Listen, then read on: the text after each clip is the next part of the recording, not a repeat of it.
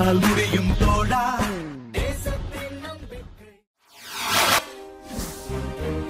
திருச்சியில் நூதன முறையில் ரேஷன் பொருட்கள் வழங்கப்படுகிறது.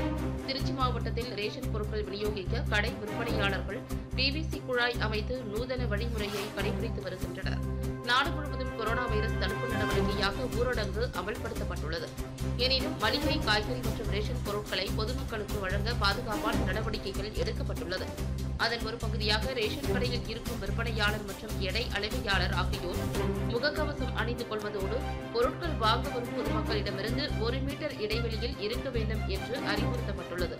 இதனால் திருச்சி மாவட்டத்தில் உள்ள ரேஷன் கடைகளில் பொதுமக்களுக்கு அத்தியாவசிய பொருட்கள் வழங்க பிவிசி குழாய்களை சாய்வு வட்டமாக அமைத்து பொதுமக்களுக்கு அரிசி பருப்பு மற்றும் ஜீனி போன்ற அத்தியாவசிய பொருட்களை எடை போட்டு குழாயின் உயரமான பகுதியில் ஓட்டுகின்றனர். அவற்றை பொதுமக்கள் தாழ்வான பகுதியில் பைகளில் பிடித்துக் கொள்ளுமாறு ஏற்பாடு செய்துள்ளனர்.